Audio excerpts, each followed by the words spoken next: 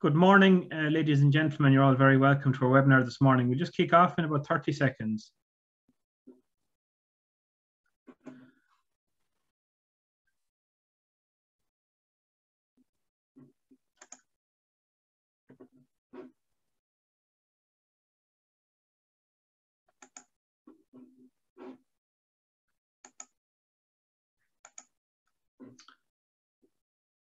Okay, good morning, ladies and gentlemen. Um, you're all welcome to our webinar this morning. Uh, my name is Sean Finan, I'm the CEO of the Irish Bioenergy Association, and um, I'm delighted to welcome you to webinar number 29, which is on the topic of energy supply contracts deliver, delivering decarbonised biomass heating without the capex. Um, so we're looking forward to presenting to you this morning on this topic. Um, I apologise to our regular attendees, uh, but we have some new participants this morning. So just a brief introduction to the Irish Bioenergy Association. Um, so we were established in 1999. We're the representative body for the bioenergy sector on the island of Ireland. And we work across the main sectors of biomass, biogas, biofuels, biochar, wood fuels, and energy crops. Our main work is in the area of policy lobbying and advocacy, and we have a broad and diverse range of members um, from farmers to foresters to small and medium enterprises, technology providers, various consultants, semi-state organizations, fuel suppliers, and financial institutions, and anyone really with an interest in the bioenergy sector. We're also engaged in a number of research and development projects. We roll out the Wood Fuel Quality Assurance Scheme, and are currently working on our European Innovation Partnership Small Biogas Demonstration Project, our 3C project, which is in the biochar area, and also Just, our Just Transition Fund Midlands Bioenergy Development Programme. So to find out more about our organisation, please visit www.irbea.org. Uh, we have done, this is our 29th webinar in our series, so we've covered a wide, diverse range of topics uh, to date. And if there is anyone on uh, any of our attendees that would like to um, present uh, on a topic of interest, please feel free to get in touch with uh, myself or my colleague Teresa O'Brien. We'd be happy to discuss further with you uh, how you could potentially present and what topic you could present on. Um, webinar 29 is um, this morning's webinar, and we're delighted to be joined by Jared Cross, Commercial Director at Woodco Renewable Energy, who will present to us this morning, and also be joined by my colleague, Noel Gavigan, who will um, provide some uh, insights and feedback on some of the uh, discussion points and also the questions which you, you may have. If you have any questions, feel free to submit them through the Q&A tab at the bottom of our screen, uh, and we will endeavour to answer as many questions as possible. Uh, just a brief reminder to save the date for our next webinar, webinar number 30. Um, our next speaker will be Mr. Kieran Coffey from MyGog, and it will be on the topic of microscale anaerobic digestion. So I look forward to welcoming you back in two weeks' time, this day, two weeks, uh, for our next webinar. Full details and registration link will be published through our social media channels in the coming days.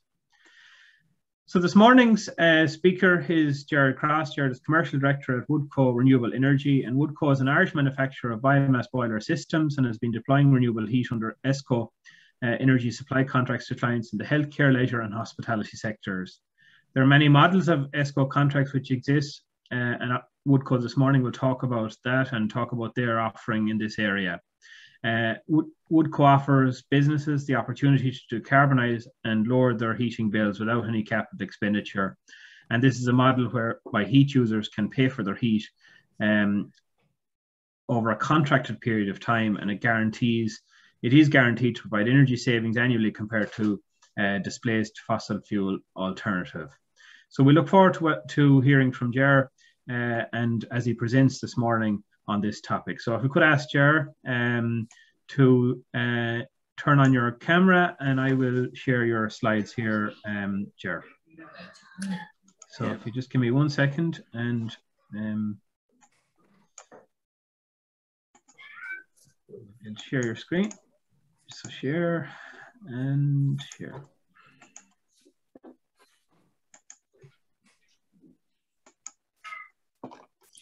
So, Jared, can you see your screen, the screen there? And I can, uh, yeah. That, thanks, yes. Uh, so over to you, Jared. Thank you. Yeah, thanks, Sean. Good morning, everyone.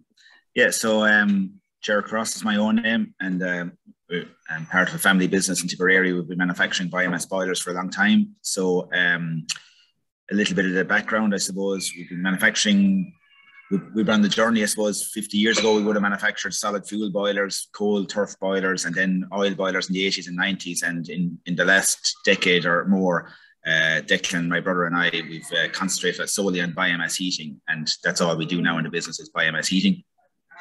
So, uh, you know, over a number of years, we've become kind of specialists in that area. And um, we would have, you know, had a good had a good run in the UK. There was a similar scheme called the Renewable Heat Incentive in Britain, uh, the, R, the RHI. So we saw how that model worked there, and thankfully, there's a similar model now in Ireland uh, for for called the support scheme for renewable heat, which I'll explain a little bit in a minute. So, just a context then, uh, and and Teresa is going to move on the slides me. So Ireland, like, um, we're in dire need to decarbonise our heating, and I think this table says a lot.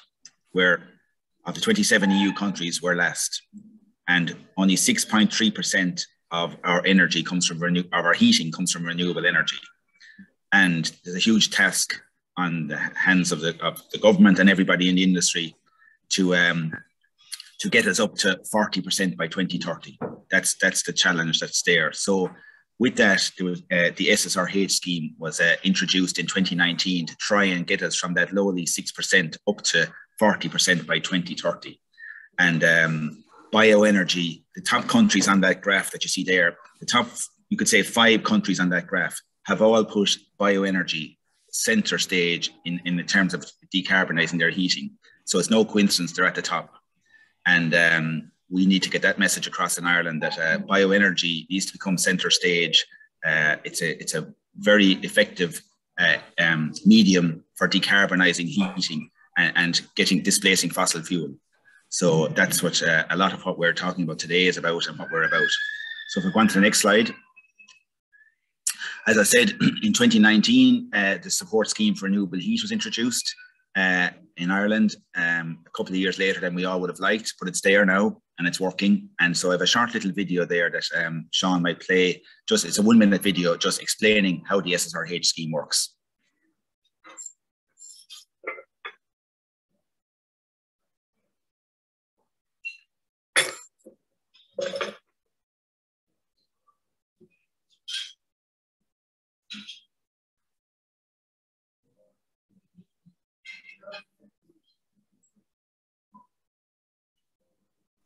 So, Jared, I get it up now. If you just give me one second, sorry. Um, yep. So okay, Sean. Sharing and share. And share sound.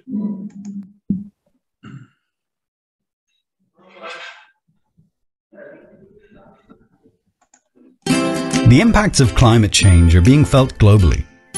Ireland still relies heavily on fossil fuels, about 70% of our energy is generated using oil, coal, peat, and other non renewable sources, which has a serious effect on the environment. Together, we need to take action to tackle climate change. In 2019, the government will be launching the Support Scheme for Renewable Heat, or SSRH, for biomass heating. A financial incentive to encourage businesses to switch from fossil fuels to more sustainable heating. Business owners will be paid a tariff every year for 15 years based on renewable heat generated, allowing you to make huge savings on heating bills for your farm or business. Woodco is a leading manufacturer of efficient and reliable biomass boiler systems. Our team of expert engineers will design a bespoke system to meet your requirements for any project. For more information, call us on 062 74 007 or visit www.woodco-energy.com. Okay, Chair, we go back to the slides now one second. Um,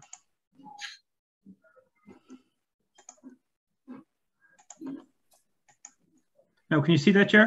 Yeah, thanks, Sean. Yeah. Okay. Yeah, so the key message in that is basically there's a 15 year incentive for, um, uh, emanating from the SEAI um, to, to cover, um, to, to reward people for uh, decarbonising their heating, moving off fossil fuel. You've got to be moving off fossil fuel to qualify for that scheme. And uh, you can see there on that table, um, the first 300 megawatt hours of heat that one uh, uses, um, they'll earn 5.6 cents for every kilowatt. So that's a that's an incentive that's quite generous. Uh, it needs to be that because there's significant capital costs involved, but um, it's a one that has now mobilised uh, the bioenergy and the bioheating sector in Ireland. So, um, and that's why we can do what we can do. So if I go on to the next slide then, Sean. Sorry, Joe, yeah. Yeah, so so basically, what is an energy supply contract? so um, there's there's two, there's two scenarios open to somebody that wants to end, that wants to avail of bioenergy or bioheat and renewable heat. They can actually buy the boiler themselves and install it and own it and operate it, or else they can enter into a, a, an energy supply contract. And it's where the supplier, in our case, we're the biomass boiler manufacturer, will supply the system free of charge to the client and we'll operate and maintain it. So simply for a business, they'll just pay, there's a heat meter on the boiler that measures the amount of kilowatt hours produced and the, the client will simply pay for the heat it, it, um, it uses, just like any utility company. And it's pretty attractive. It's attractive to businesses that have high heating costs. So any business that has process heat or using heat quite a lot over a sustained period of time, uh, an energy supply contract might be the right solution for them. And also, we're only interested in providing energy supply contracts to businesses that are using lots of heat. So, you know, to date, uh, in this early stage even uh, uh of the SSRH scheme in play, we've several uh, businesses on energy supply contracts, and particularly care homes and leisure facilities. They seem to be the sector that are initially seem to be uh, availing of this. So um, we have a number, and I'll show you some some examples of of those sites and projects. Um, so next slide, please. Yeah, so so so I suppose some of it is why in why ESCOs and why did we involve, get involved in it? Well, as I said at the outset, um, we had pretty we had a kind of a bird's eye view of how it worked in Britain when the RHI scheme, which was a very effective scheme for the last ten years there, which was running, and and um, we supplied many boilers to um, energy supply contracts in Britain. Um, so, um, particularly poultry farmers, we supplied on one occasion, we supplied 60 boilers to a large poultry group in, in Britain, where the boilers were funded by, and this is interesting, by a City of London kind of finance firm. Uh, there was lots of money in that space uh, dived into supplying energy supply contracts because at the end of the day, it's guaranteed secure investment. Um, in Britain, it was a 20 year incentive that the um, the owner the owner of the boiler obtained so basically, they put in a put in some uh, um, capital expenditure, put in a boiler on a, on a farm, and they could get an income from it for 20 years, and it's it's sovereign backed, I guess. Um, so um, you know, we've we've we've over four and a half thousand boilers supplied worldwide, many of them in Britain, and many of them on energy supply contracts. So I always said to myself, whenever uh, such a scheme or when the policies are right and the environment is right in Ireland, that we would offer energy supply contracts in Ireland because we have the skill set here. We have the, we manufacture the boilers. We do all the, the application process with the SEI and, and engage with them. And then we have the, the resources on the ground in terms of service engineers, maintenance men, and relationships with fuel suppliers here that um, is quite strong. So we felt um, we were in a good position to be able to offer energy supply contracts in Ireland. So, you know, again, why have I embarked on, on these ESCOs? Well, for many clients, you know, uh, uh, no matter what way you slice or dice it, um, putting in a biomass boiler is more expensive than a fossil fuel boiler. And for many, CapEx is a barrier. Um, very often you're looking at a six figure sum. And um, so, you know, we've the funding in place to do this. So, like, but many clients, particularly in, in the present uh, climate, they want to save money and they want to eliminate fossil fuel and carbon intensive heating. So people's motivation are, are, are, two of those things. So, but they may have they may have a bit of an issue with the whole capital expenditure. And um, so we we decided we wanted to play our part in offering ESCOs, energy supply contracts, putting boilers into into businesses that may not ordinarily go ahead with it. And we want to play our part by um, achieving 40% renewable heat by 2030. So it's a win-win for the client and for the ESCO provider. The client is going to save money, the client is going to decarbonize, and we're, we, it's a good business model for, for, for ourselves. So how does the ESCO do it? And, um, or how does the energy supply contractor do it? Well, I suppose, as I said at the outset, the, it's a game, the game changer was a support scheme for renewable heat. Uh, the ESCO owns the boiler, so the ESCO uh, gets the income from the support scheme for renewable heat. And, and, and on the graph there, you see the, the um, this is something um, borrowed from SEAI. Um, the support scheme for renewable heat was to open around 2019. And if, if we did nothing, Ireland was due to uh, was due to get on a tra- trajectory to to um, increase its um, its um, or its amount of renewable heat up to about um, eight percent. But with the incentive from from from SSR from SEAI, um, our renewable heat was due to increase to twelve percent by 2020 or 2021. Uh, sadly, it, that hasn't happened. So, um, for a few a few administrative reasons, I suppose more than anything else. But certainly, uh, the momentum should be should be increasing um, to, to try and do it. So, so the ESCO provider is um, is going to get the incentive, the SSRH incentive, because it owns the boiler. Each quarter, then the ESCO provider or the boiler provider will uh, submit its meter reading to SEAI and will get paid uh, the SSRH income from the SEAI. And each quarter as well, the, the, the, the client who's using the heat will pay for the heat it's used. So the SSRH, in, in effect, the income we receive from the SSRH is used to fund the capex and to fund the ongoing maintenance of the boiler. That's how the ESCO does it. And just to continue on that line, um, you know, people can say, might say, well, how does the ESCO do it? You know, what happens if the price of oil uh, decreases or the price of gas decreases? And um, like our guarantee for the clients who enter an ESCO agreement with us is that we will guarantee them to save them money every year for the 15 years of the of the of the contract. So you know, and, you might say there's a little element of risk in that. But if you look at the graph, this is the, this this graph here um, shows the average price of oil, which is the the middle line, the second line from the top for the last 13 years. The top line actually is the price of electricity for the last 13 years. And you can see wood pellets, which is the green line underneath.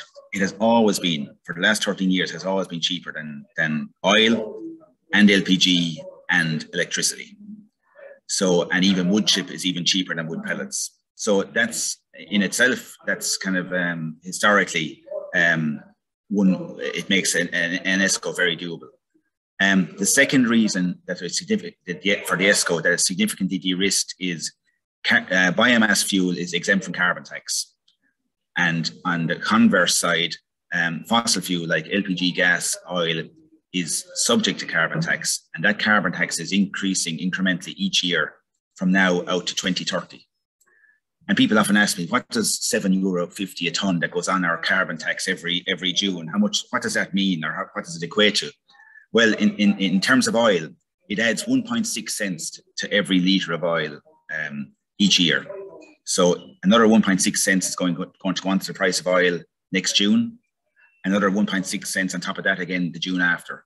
So between now and 2030, the price of oil will increase by about 13 or 14 cents if nothing else changes, purely purely on carbon tax. So again, uh, the biomass fuel is not um, is not subject to carbon tax. So again, that significantly de-risks it, and that's why we're able to say with a certain with a fair degree of certainty we can always offer fuel and heating cheaper than the fossil fuel alternative. And then the third thing the third thing is um, the SSRH is state backed. It's a guarantee to pay this incentive for 15 years. So, you know, we've a, we've a, we've a, as, as the ESCO owner, as the owner of the asset, we don't start a project until we, we get a letter from the SEI saying they're going to pay X amount of money for the next 15 years based on, on, on, the, uh, on, the, on the heat used at this property. And the other reason we think it's very de-risked is we we control the whole process. So we we design the system, we submit it to the SEAI, um, we uh, install it, we manufacture the boiler, we install it, and then we manage it for the 15 years. So we're in total charge. So I guess we're I guess we're confident in our own skin that we can deliver deliver these projects. So that's how the uh, uh, ESCO does it. So what we did, what we've done as a company in Woodco, we've set up a special purpose vehicle SPV and just specifically to offer ESCOs. And um, a fair bit of work has gone into this. And um, we've got a contract, a, special ESCO contract drawn up by Philip Lee, commercial law firm, one of the top law firms in Dublin, um, an award-winning law firm. So they've they've done it, and um, so it's it's a flexible document, but it's uh, it's it's very good. And um, so we we so Woodco then as a manufacturer supplies our we supply our boilers to, to the SPV, the special purpose vehicle called bioenergy installations. So the ESCO contract is with bio is between bioenergy installations and the client. So Bioenergy uh, applies to SEI to get approval for the project. That can take a number of months, and we get a letter of offer from the SEI approving us for the SSRH scheme. We go and install the boiler, the fuel store, everything. I mean, our commitment to the client is they don't have to spend a single euro on capex, right? And then we'll provide fuel to the boiler for 15 years, and we'll operate and maintain the boiler for 15 years. Okay, thanks, Sean. Yeah. So again, wh why is this attractive to a business? And you know, certain businesses um, may not like the idea of a biomass boiler um, in their on their property that they know nothing about. You know, they've been they, they, their core business is either if it's horticulture, it's growing vegetables. If it's a care home, it's keeping the, the residents uh, safe and well. And having to own and operate a biomass boiler um, mightn't be, they might see that as a stretch too far for them. So it's attractive for a business where there's no capex involved, they've no maintenance costs, they've no operating costs, uh, and you just pay for the heat you use. And, and also, we're giving them a guarantee that will supply them the heat at 10 or 15% less than the cost of the fossil fuel equivalent. So, to, as I said at the outset, it's a win win. Um, there's savings guaranteed, and you're eliminating fossil fuel and carbon from your business, which is becoming more important. Yeah, so again, probably reiterating, re reiterating the same point. That's one of our boilers there in a plant room. Um, you see, you can see in that picture as well. There's obviously the oil boiler is kept as a backup. Their uh, clients are allowed to keep their existing uh, fossil fuel boiler as a backup, and you see a big buffer tank there. And um, that's a typical biomass installation. Um, that's a 500 kilowatt boiler there. Um, so it's attractive to businesses that are using lots of heat. Like what we're not going to do is put in a biomass boiler into a or into, an ESCO agreement with a client that's that's going to have low heat or isn't going to use it. You've got to use it. And I'll come to some of that. There's some some conditions in the contract that are important to point out. And as I said, we have several care homes and uh, who are again are we consider large users of heat because they use heat consistently. Even through the summertime, they need heat for bathing clients or, or bathing their residents, I should say, and and um, and hot water and heating anyhow. And leisure facilities are another good one. Swimming pools um, have the heat on all year round. Huge energy bills, and we we find those particular businesses very attractive for an ESCO. So what's the business committing to? Um, you know, it's it's important. You know, it's uh, for the client. They're com- they're committing to using the heat from the biomass boilers priority. That's important. You saw in the last picture they're allowed to keep their oil boiler, but they've got to use the biomass as a prior as a priority. It's the first choice. But you know, when we when we're in for a day, maybe servicing the boiler, of course they're allowed to use their oil boiler in those cases or our gas boiler as a backup. Um, they're committing to a fair usage policy. So we agree that the minimum amount of heat that they must use and it's a pretty fair. So we analysed our bills over the last year or two or a couple of years, and we say, right, you're going to use you're using X amount of heat, typically in a year. We'll set a minimum amount of say maybe 10, 10 to 15 percent less than that, and we'll say that's a fair usage policy. You must use at least that amount of heat. So people need to be fairly comfortable with their business model that they're going to use the heat each year, and then they're committing to pay, paying for the heat monthly. So based on the heat meter reading, they'll uh, they'll um, pay for the heat and typically, the ones we've done to date have all been a 15 year contract, basically to coincide with the life of the SSRH scheme. Um, now, we can we, uh, contracts can be tailored to suit certain requirements, but typically they're the ones we like to do. And um, as I said, they're allowed to retain and maintain their existing boiler. And another kind of condition in the contract that's there is we have to be allowed access to the property to service and operate the boiler, so un, uninhibited access to the boiler. And um, again, that's in that's in the contract. So the type of business that it suits, that the ESCO suits is, you know, basically I put pictures of the oil lorries there and the gas lorries. If they're a frequent visitor visitor to your property, then you should be probably talking to us or certainly looking at biomass heating. Um, businesses that have a consistent high heat demand, that are using oil or gas uh, uh, steadily throughout the year, and typically the ones that lend itself well to um, an ESCO, where you're using maybe 300,000 kilowatt hours of heat a year, that's probably the minimum amount we would, we would um, entertain. Um, and, you know, 300,000 kilowatt hours is about 30,000 litres of oil. So if somebody's using 30,000 litres of oil a year, 40,000 litres of LPG gas, um, then certainly we'd be interested in talking to them about ESCOs. And again, we're probably interested in talking to established businesses um, where there's less risk. Um, so so far, the, the, clients that we've done business with and are, are, are doing business with are care homes, leisure centres, hotels, and some businesses that require process heat. Okay, and um, the type of business that suits is, is a business that might want off balance sheet an off balance sheet solution. They don't want to purchase the capital, capital item. They don't want it on their balance sheet. And um, other businesses actually that uh, business is probably the wrong word, but public sector buildings is another sector that's starting to look at all of this. And I think the ESCO solution is an ideal one for schools, uh, county council offices, leisure centres, and all of that. And basically, for business, what we find is businesses where they might be uh, a little unsure of the, that they have the expertise on site, where they mightn't have a caretaker or a maintenance guy or a guy to keep an eye on the boiler. Um, they just don't want that burden or that uh, responsibility, and they mightn't have the expertise, so they're happy for a, a, a, company like ourselves to come in and do all of that. Um, so there's a couple of types of ESCOs. I mean, um, the, es- the ESCO model I've been talking about up to now has been the full ESCO, where the ESCO, ESCO provider provides the asset, bears all the associated costs and the risks, right?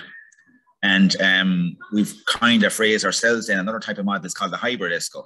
And that can be, we can be tailored to suit whatever circumstances one wants. On a couple of occasions, we've done an ESCO where the user owns the asset, they want to own it, and they want some of the benefits of the SSRH, but they want a, a 15 year contract from somebody to provide um, and operate the system and, uh, and provide heat and provide fuel. They want uh, uh, the ESCO provider to provide that element of the project. So it can be tailored, although our preference is for the for the full ESCO. Um, but there, you know, a hybrid ESCO is certainly something we can talk to. And again, some public buildings uh, that I know the Department of Education at the moment are looking at some some hybrid ESCO models, and uh, we're hoping to do one or two from now in the very near future. Okay.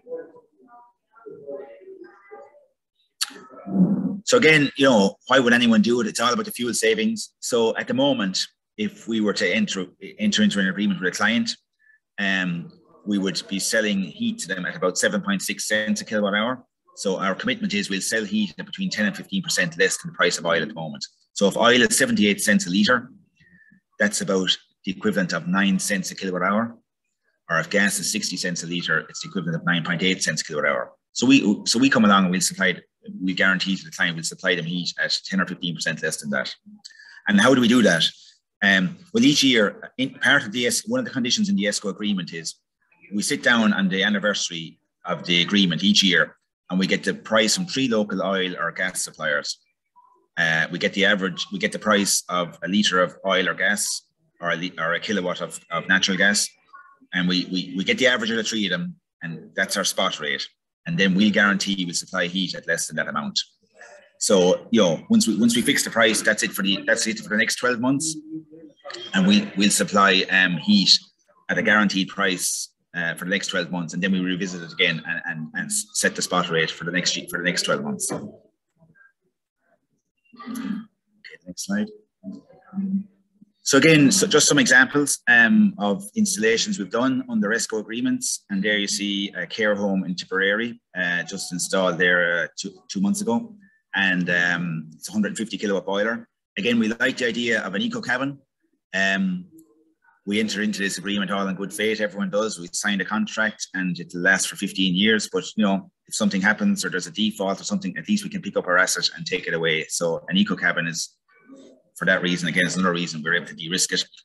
And a lot of the boilers that we do and are uh, that uh, um, the SRH under the SRH scheme fit in a, in a nice containerized solution, and it's our plug and play solution. So that that job there, he was displacing LPG gas in a 60 bed care home in Tipperary. Again, another care home there in County County Mayo. Again, uh, Blackrock's care home in uh, Foxford, County Mayo. Again, you see the eco cabin and the fuel store just set at the back of the back of the property. Um, they're displacing 40,000 litres of kerosene uh, a year and um, eliminating 100 tons of carbon per annum, per annum. So again, you know, they're delighted, they're saving money um, with no capex and they're using the heat all year round. That one was installed last summer and uh, it's been running successfully for them. Uh, again, similar scenario, uh, a care home in County Galway, 150 kilowatt boiler and a care home. Again, these were displacing LPG gas. Typically, care homes and these properties they're in the countryside. They're off the gas, off the natural gas network, um, so they're using expensive oil and LPG gas, and they're looking for a solution. And um, you know, would be hurting at the moment with uh, with energy costs, and we come along and provide them that. So, um, again, there's a cabin in a, a guest house in County Mayo. Again, um, it's a busy guest house on the River Moy. Um, lots of tourists coming there, lots of showers, lots of heat all year round. Even in the summertime, they're using heat. So we were able to do an ESCO agreement with them to put in a 100 kilowatt eco cabin. Just on that picture there, you see the fuel store is integrated into the cabin and the, the, filling pipes. So the truck comes along and can blow the fuel up in from up to 30 meters away. So connects up to it and blows the wood pellets into the into the boiler. And um, it's a nice uh, plug and play solution again.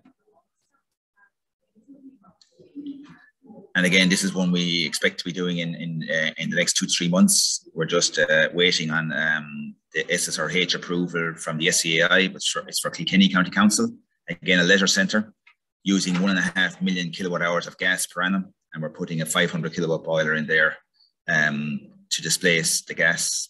And it's, uh, again, it'll be a fairly attractive um, proposition. Again, county councils and that are, um, you know, it's, they're, they're beholden to, uh, to um, decarbonize and reduce energy costs. And anyway, gas has gone very expensive. You know, they've gone from probably, well, I, I can't say for this example, but I know a lot of uh, people using natural gas are getting a huge jump. It's gone from maybe two cents a kilowatt hour up to maybe 9, 10, 11 cents a kilowatt hour. So it's a huge increase in gas costs in the last number of months, given what's going on in the world and um, uh, being crippled with energy costs. So biomass is a great solution here. So again, just to kind of nearly summarize and, and conclude, but like why ESCO is a compelling case for a business, there's probably five bullet points there you know, they can slash their heating costs by 10 or 15%.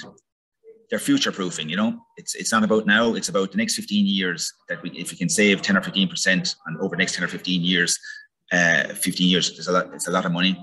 There's no capex involved. So we'll supply the equipment free of charge. You're avoiding carbon tax. So wood pellets are exempt from carbon tax.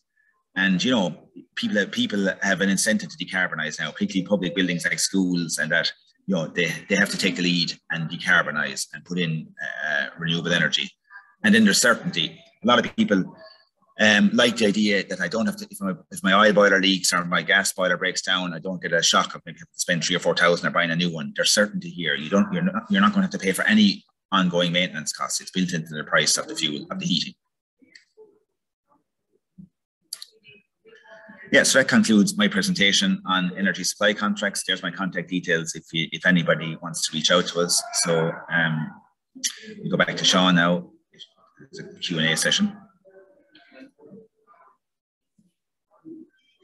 That's great, Ger. Thanks very much for your presentation. Very informative and um, for giving us an outline of um, the various projects and works that you're uh, engaged in. So thank you for that.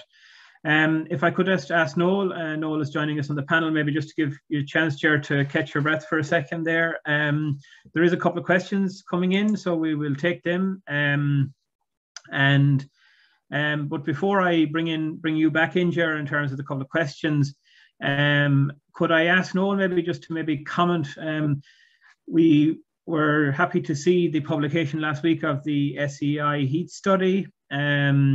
And uh, certainly it articulates uh, a strong and significant role for bioenergy heating in the in the near future and over the next number of years as we decarbonize our heating system. So perhaps Noel, you maybe just give us some high level comments on the what you have read so far. It's a very detailed report, uh, lots of documents as part of it. So can you just give us some feedback while Jared is just catching his breath there ahead of a few questions? Maybe just give some uh, yeah, the, the entire report is, uh, and it's a collection of documents. There's eight documents in total, and you know you're probably averaging about 100 pages a piece. A piece so it's it's a substantial piece of work uh, titled "Net Zero by 2050" by SEAI, and you've obviously a, there's an overall document, and then it breaks down into seven further studies which look into various areas.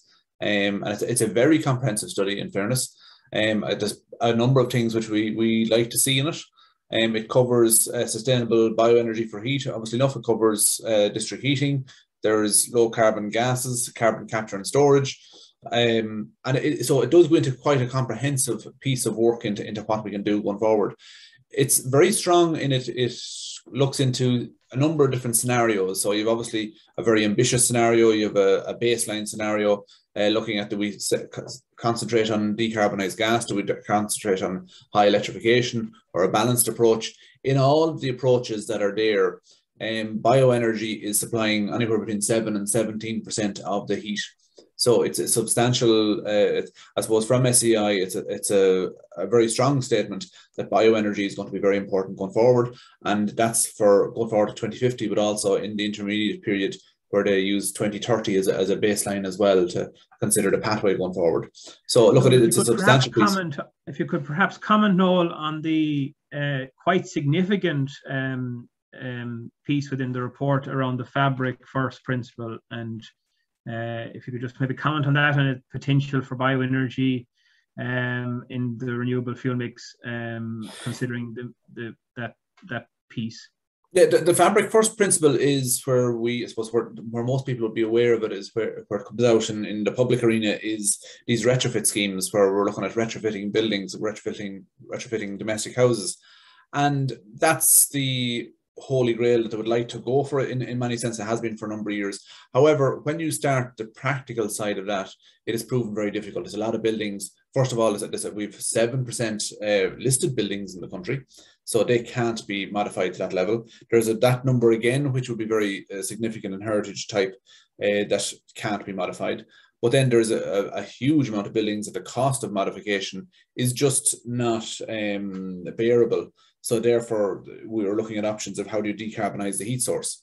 So the fabric first principle is very, is good for new build, but you still need uh, heat for existing buildings and even for new buildings where you need small volumes of heat. Bioenergy fits in quite well there. So it's it's a, it's a move from SEI where I suppose giving that overarching they have to consider all options available um, much as their EU counterparts are doing, uh, bioenergy is, is, is, expanding rapidly across the continent, um, as it has been for the last number of years. So it, I suppose it's an acknowledgement from SEI that there's a need to consider all technologies in this and that the, the fabric first, although it, it is still uh, very much uh, supported and understandably so, and it, it's, we wouldn't, it is a good thing to be doing, but it's an acknowledgement that it's not going to suit uh, quite a lot of places. Okay, thanks, Noel. Ger, perhaps uh, before I bring you in on the questions, if you could maybe comment on your own um, thoughts on the report, uh, and we hope in the future to be able to uh, maybe do a webinar on it in more detail, but just to give a flavour to our attendees of yeah, yeah. initial feedback was quite detailed and a lot of reading. So just maybe if you was. could comment as well. Uh, yeah, no, it was very interesting. And in fact, in February, two significant reports came out from SEI or the department, and uh, they seemed to nearly con- contradict, conflict with each other. We had the deep retrofitting one. Sorry, guys, bit of background noise. With a deep retrofitting one, uh, which was all about fabric first and getting properties heat heat pump ready. And there was mention, there wasn't a single mention of bioenergy on it, right? and it was about deploying 600,000 heat pumps in the country, which is all laudable, and I'm all for any renewable energy technology. But two weeks later, then we had the the, the heat plan, and it was a significant. Sorry, Jerry, just to study heat study. Study, study. Yeah. All right. Yeah. Beg your pardon. Yeah, it's important to be right. Um, where it was, um, you know, it was significant, significant mention of bioenergy um, a little bit of a rollback on fabric first and realize that basically we won't achieve our renewable heat targets if we adapt a fabric first uh, option. That fabric is important, but we need to de- deploy, and the word urgent was mentioned several times on the document. We need to urgently deploy renewable heat, and bioenergy again was mentioned several times in the document. So I thought it was um, it was tell it was telling, you know. Okay. And we're all for, and we're all for that. Everybody in this call, of course, is all for that, you know. Yeah, thanks, Jaron. If anyone, if our participants, I think I would encourage people to read the reports and uh, feel free to feedback any information or feedback that you have to us. Um, so if we move on, uh, maybe just a couple of clarification, just one clarification, Ger, um, just to on your presentation. Um, in terms of the support scheme for renewable heat, the contract uh, that SEI would have with the heat user, that would be held by the nursing home or the hotel. Am I correct in stating that, just to clarify, or is that held by Woodco from the? No, the, the, the, contract uh, from the SSRH is held by the whoever owns the boiler, which will be the ESCO or bioenergy okay. installations or SPV. They own, they have the contract, yeah. Okay. Um, a question there from Thomas. Um, would could Woodco qualify for the SSRH for a specific office building within a large energy user complex, assuming the client would not qualify if we consider their full heating load? So it's a quite a specific uh, question, Jared, there from Thomas. So would you have any? Yeah, I, I suppose it would. It? In theory, yes, it can happen. I mean, if, if the business has one part of the building it just wants to heat, um, it would need a survey. And listen, you can achieve anything really with the SSRH and get approval. It's all down to metering. So if we can meter and and isolate the heat that's they want to be eligible, and the heat that's ineligible are, uh, is separate, um, it can be achieved. So it's it's all about. That's why the SSRH scheme relies heavily on on people like ourselves and other companies that are operating in this space to design the system uh, you know, there's a, there's a whole uh, biomass designers um, uh, qualification criteria that you have to they be they have to be the ones submitted submit the application and and so a lot of emphasis is placed on the design of the system. So, but in theory, you know, we have some challenging. Would that, uh, would that be approached similar to a district heating system if you take it as a number of building, yeah, yeah. a number of users yeah. in the one complex, and if they were to put in a boiler, essentially to feed its own heat needs, but it'd be feeding into the system. And once it's metered into the system, that would probably would that contribute or be able to be eligible? Would you think, I know you can't answer straight out, but it sounds yeah, yeah. it might be. As, as, I said, it's all down to metering. Eh, um, you know where, where, the heat is being used and is it eligible and can it be metered? And if that's the case, if the answer is, is the yes to all three of those, well then it can qualify for the scheme. Yeah. Okay, um, thanks, Ger, for that. Um, there's another question there from Kin, um, and Kin is asking about the fuel types used in these boilers. Um, is it wood pellet or is it wood chip or is it a mixture of both? So if you could maybe just elaborate more yeah. on the fuel types that are, you're using on in these particular systems. Yeah, yeah. So we've we've we've some about to happen on wood chip. Um, and generally, I suppose a rule of thumb for ourselves, uh, given we own the boilers, um, we um, we want to get the cheapest fuel and and uh, the lowest energy costs and pass some of the savings on to the clients, the majority of it. But um, I guess we, we judge each project on its merits. Generally, smaller boilers, 100 to 150 kilowatt, we, we generally go for pellet. If it's up at 500 kilowatt and space permits, and um, you know, and they have the infrastructure and all of that, we can put in wood chip. You know, but we're not. It, it's not exclusively pellet or it's not exclusively wood chip. We can, and if the if you know, and cheapest cheaper. Uh, chip is about one one to 1.2 cents per kilowatt hour cheaper. So if we can make chip work and the client is happy for us to do it, we, we will. Okay, um, thanks very much, Chair, for that, and thanks, Ken, for your question and for joining us this morning. Uh, there's another question there from um, Norman, um, and it's a question with regard to the removal of the ash and the disposal of the ash from the system. So perhaps could you comment on that, please? Yeah, well, if you take the if you take it uh, literally, um, we do everything, and the and the property doesn't do anything. But you know, depending on on the and the property, if there's a caretaker on site, and literally the ash is a very simple task uh, to do. It's on the, our ash bins are on a wheel wheels and just wheeled out, and it's potash. It can be put on flower beds or whatever. Um, so it's um that's probably one thing depending on the site, you know, um, you might get a certain property or certain business that's highly unionized and it's nobody's job to, to remove the ash bin, well then okay, we'll do it. You know, because look, like fortunately, biomass, as we know, efficient biomass boilers, they produce very little ash. So it could be a question of maybe once a month or once every six weeks you have to remove this ash bin. So it's not a, a daily or a weekly occurrence, you know. So um, and generally, given we own the boiler, we're calling into it anyway. So uh, fairly frequently, we service these things a few times a year, and um, so yeah. But okay, thanks. That's great. Thanks very much for that, Jer. Um, yeah. There's a question here from Donald. Um, it says, Hi, Jer, you mentioned you would supply the biomass. So do you supply the pellet or wood chip at the market rate? So maybe could you, or do you contract with the biomass supplier, I suppose is the question as well. So maybe just explain the biomass supply element from the point of view yeah. of that. Yeah, so so quite simply, we, we buy the fuel from from from the players that are in the market. We try and get the best price, and um, we so the, the heat we charge uh, is the cost of the fuel, but we also have a, a, um, a premium or a or other costs bedded into the cost of the heat as well, like the maintenance costs and the warranty cost and, and so on, you know. So all of that is embedded into the, the unit price, the cents per kilowatt hour we charge for the heat. So the cents we the cents per kilowatt hour that we charge for the heat is made up of primarily the fuel cost, but there's also a little bit extra for our maintenance costs and recovering a bit of the, the capex costs as well. But it's over a 15 year period. Okay. Um, if I another question there, Ger would be um, around the actual maintenance requirements of these boilers, and indeed generally, uh, whether it's an ESCO boiler or a regular biomass install.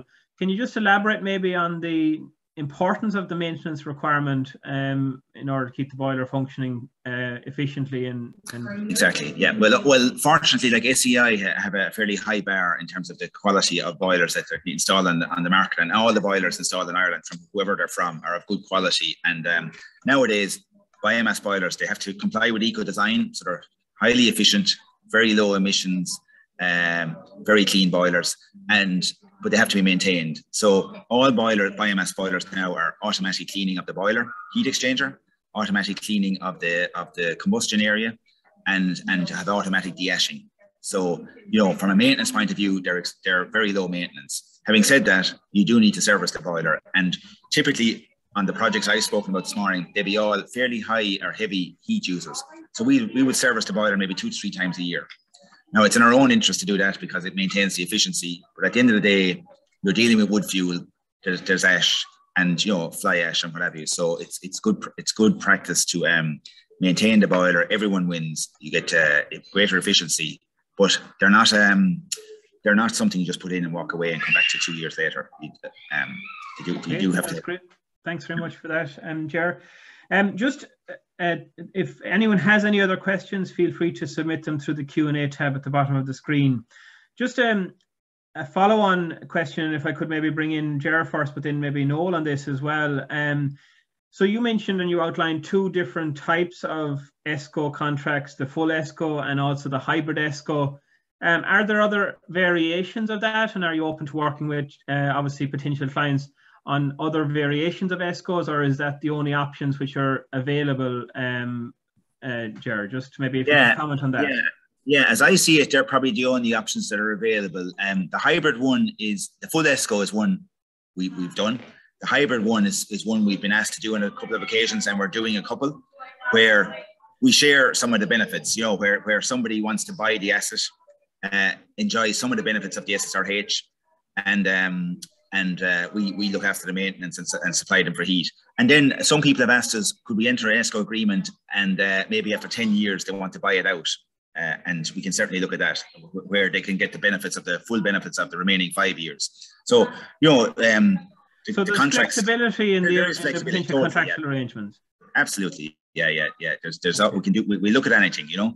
Um, once it makes sense for both of us, it can't be all okay, one sided. Okay. Um, Noel, if you perhaps could comment maybe as well, Jer's outline too. Um, I know that this is an area which you have looked at, and I think IrBEA have done work on this in the past from, from an ESCO point of view. Have you any comment on the contractual arrangements or anything? You know, there, there's many options out there, I mean, and Jer has outlined the, the, definitely the most popular and the most uh, sensible in most cases. We've had some, depending on, on a person's own needs, um, we're, we're aware of some situations where you might have what's termed an auto producer. So you may have a farmer who has forestry themselves and they want to be able to supply some of some of their own fuel. And if they can certify that fuel up and ensure it's, it's the correct quality, and that's that's very important in terms of the SRH, they can do so. So there is options there for people that might have uh, either their own fuel source or they might be wishing to, you know, and for example, sawmills uh, may, may have a, a, byproduct that's very suitable for, for uh, the SSRH and very suitable for, for their own heating needs. So like there's, there are many options there that people can go for. Uh, some opt to own the boiler themselves and they may wish to just have a service contract. And you know, it's like anything else, any other any piece of equipment. You can have a design, build and operate contract, or you can have just a design and build contract. There are many options available to people uh, in depending on the scale that they're at. So I, I suppose that the flexibility is there depending on what they want to do. But for many, you know, the hotel sector, the leisure center uh, centers, nursing care homes, they like their their business is not about uh, heat. So for them, they just want to have a, a enable heat source. And if, if somebody comes in and, on, on contract like Woodco and they do the entirety of it and they're, they're paying a heating bill at the end at each month, it makes it an awful lot simpler for them. And they can obviously they've got the green credentials to go along with it. I mean, it, it's very good for their business in that sense. They've got the cost savings, and they're doing so without having to to, to be wondering is there enough fuel in, in the bunker or do they need to be ch- checking that out on a regular basis and the servicing of the boiler that that's all taken out of their hands. So there's okay, options there for them to depending on okay. what, what they want to do.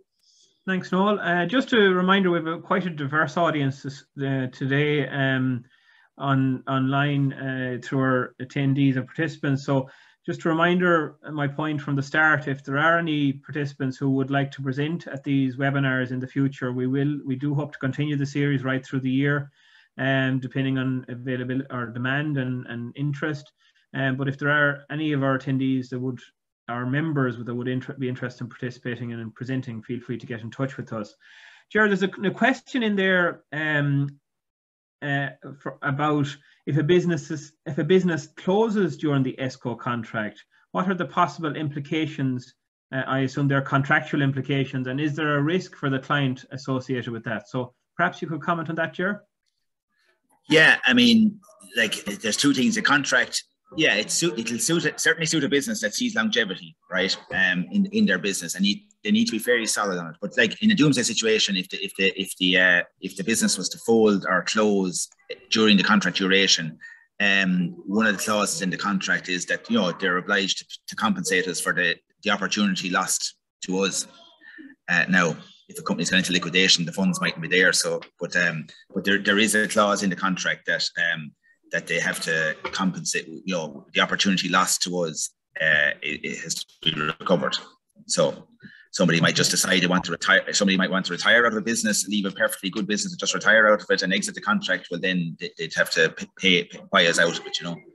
Um, because you know we're making it would be down to negotiation or discussion based on the yeah, yeah, yeah. agreement. Yeah but you know we're making a fair old investment in it as well so we're looking at it for um, for um, for but you have outlined that there's uh, you're you do operate as containerized systems as well so there's options potentially to move boilers from a site and there are yeah there's one one condition though it's important to say um unlike in britain um the ssrh in ireland uh, the boiler can stay on site. So so for example suppose in a business uh, an owner wants to exit the business and sell the business to uh, somebody else and and, and the, the, business remains in the same property that's fine. You can you know that's not a problem. But what we can't do is pick the boiler up from from property a and move it to property b and still have the ssrh the ssrh yeah. doesn't travel with the boiler uh, that is the, that is the case in britain but not in, not under the rules of the ssrh scheme so that's so we've got to be fairly solid that the boiler uh, or a business activity is going to remain on that site for for the period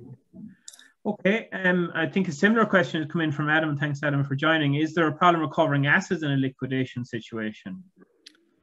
No, well, again, in the contract we have we have um, we have we, we, we supply a map with it, and we have I suppose a right away might be too strong a word, but we're in the contract. It says we, we're allowed uninhibited access to our to our asset, you know, and we just draw it. We mark it on a map where we go. There's the gate, there's the entrance, and there's our plant. We've got to be able to get to it. So, um, uh, we own the asset, you know. And um, okay. We've, we've, um, thanks, Ger. If I could bring back in Noel, uh, maybe to comment on the importance of wood fuel quality.